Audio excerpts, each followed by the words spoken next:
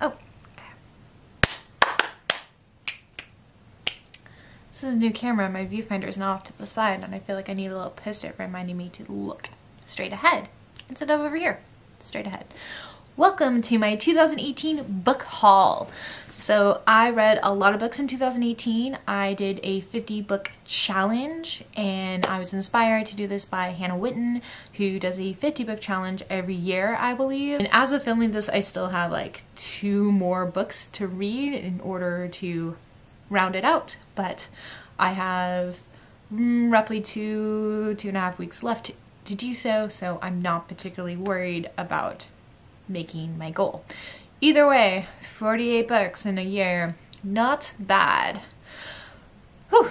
So I thought it'd be fun to go through and look at some of my favorite books that I read throughout the year and some of the newer things that I discovered and really loved and been recommending to people and kind of look into what I'm looking forward into reading in 2019. So let's get started.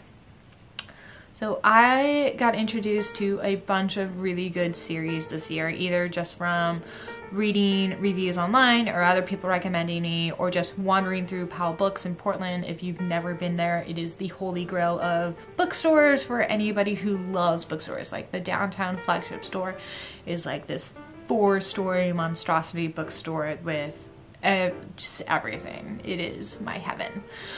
Whew. So one of the first series that I got really, really into is the Cormoran Strike novels. So the first one is Cuckoo's Calling, and then The Silkworm, called Career of Evil, and Lethal White. So these three have been out for a while, then this one that I have hugely in hardbound is a little newer. It is a crime thriller series, so I really love that stuff. I particularly love reading things like this in the summer because they're just so gripping and easy and they're like, they feel like good vacation books to me. And it's written by Robert Galbraith, as most people probably know now has been outed that is actually J.K. Rowling. So I totally understand why she wrote it under a different name though. It is a really good series, but it's absolutely nothing like Harry Potter. It's a totally different genre. And well, I loved it and I read like each book in about a day, similar to when I first started the Harry Potter series. It, it's good to come into it without the Harry Potter expectations because there's no Harry Potter universe stuff in here. It's, it's its own thing. Another series that I got really, really into this year is the uh, Darker Shades of Magic series. So it is a three book series by V.E. Schwab and I got really into it because I was walking around my bookstore and I saw this cover and I thought that looks good. So I picked this one up and I gave it a shot and I liked it so much I immediately went out and got the next two and I've been recommending it to people ever since. So it's a darker shade of magic, a gathering of shadows, and a conjuring of light, and it all takes place in London's. If you read it, you'll know why I put a Z on the end of that, and deals with magic and magicians and stuff like that. Really good. I liked this series so much that I went out and I got V.E. Schwab's other series. She also writes young adult novels under the name Victoria Schwab, and I've read one of those, but uh, her other adult book series is Vicious. The second one's Vengeful, but these ones deal more with like superhero, superpower type stuff and it is also really good. I read the first one just so fast, and the second one was good as well, but I think I really, really liked the first one. Along the lines of fiction books that I really, really liked this year, I read The Star Wars Lost Stars by Claudia Gray. I've never read any of the Star Wars books, I'm a fan of the movies and the Lego sets and I, I love Star Wars. I grew up watching it. I, I never read any of the books before, but my boyfriend's really, really into them. So he got me this book because uh, he thought it would be a really good introductory into the Star Wars written genre. And I really liked it. It takes place over the course of the original movie, follows kind of like background characters and just a different side of the story and life and the things that were going on during that time period in a galaxy far, far away.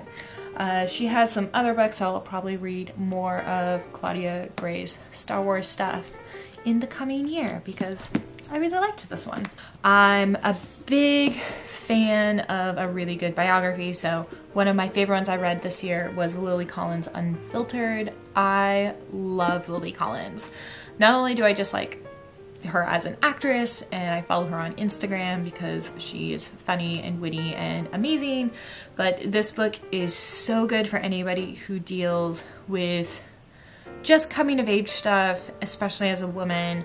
She talks a lot about body image issues and her trials with eating disorders and relationship stuff and it is so good and it's something that I wish had been around when I was like 17 and 18 years old because it would have just been like such a valuable book to have read but loved it also in the biography genre I read Anna Akana's So Much I Want to Tell You. This is a book that is, deals a lot with the death of her sister. So if you don't know who she is, she's a major YouTube star and she talks a lot pretty openly about her sister's suicide and how that has affected her.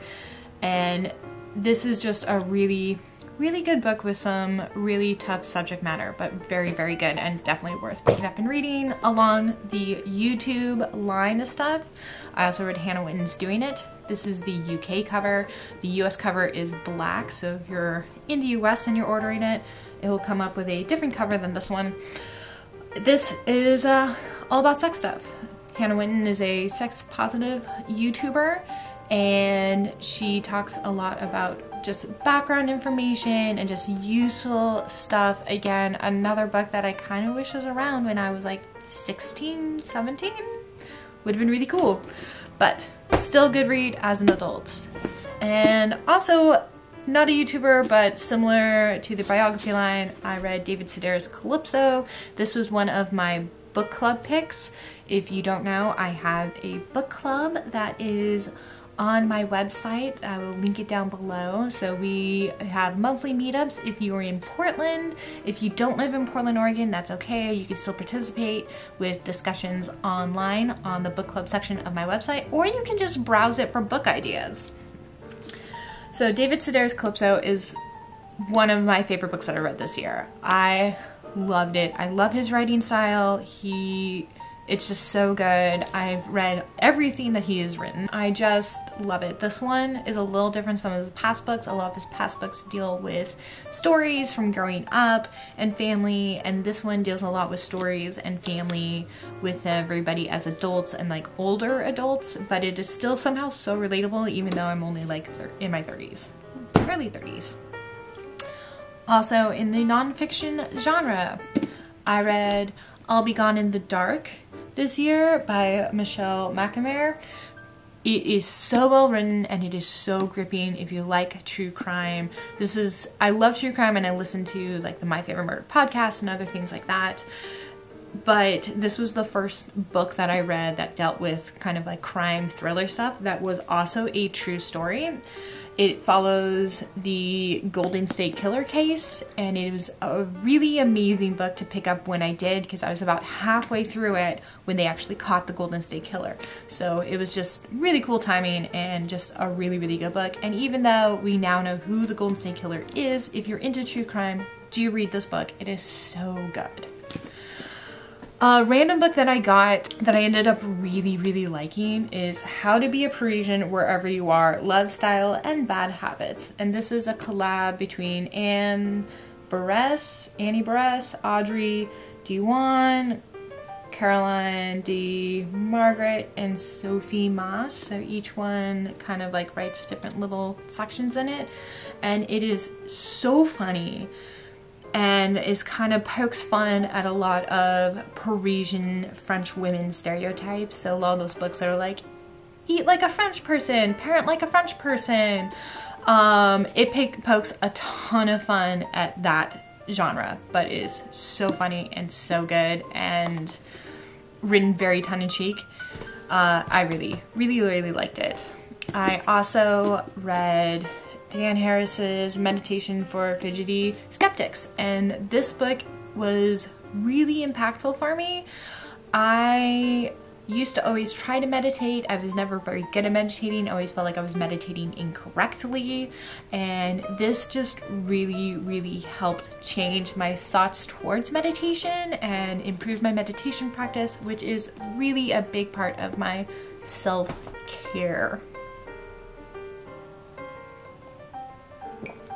so I was drinking coffee. Those are some of my favorites um, that I had read. For the last of my books, I am literally like 10 pages away from finishing The Princess Diaries by Carrie Fisher. Oh my god, this is so good. You can just hear her voice. It kind of makes me want to tear up because rest in peace, Carrie Fisher.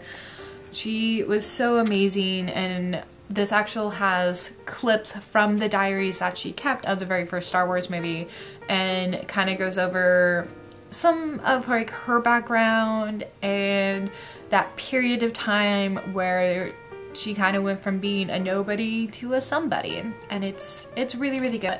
So that's book number 48 that I've read this year. And then I'll be finishing up with uh, An Unkindness of Magicians. I don't know very much about this book. Let's see. The unseen world of wealthy and literary power magicians in New York City prides itself on remaining invisible. Every 20 years, vying for power and standing during the turning, the heads of magical houses elect a champion, a family member, or a magician for hire and begin a series of duels. It looked really, really good. So I'm gonna give this one a try. And the other book I'm going to be reading is Educated, a memoir. I've heard nothing but amazing things about this. This book is by Tara Westover and it talks kind of about her journey with education and her background and how like the first time she actually went to school she was 17 i'm really looking forward to reading this one that is all of my top picks from 2018 and what I'm going to be reading to finish out the year and head into 2019. So if you have any book recommendations or any thoughts on any of the books that I've mentioned, go ahead and leave them in the comment section below. I love hearing people's book recommendations. I will put links to these books down in the description. I am uh, going to be posting new YouTube videos Wednesdays and Sundays, so every Wednesday, every other Sunday, probably. And you can hit the subscribe button, make sure that you don't miss out on any of that. Bye!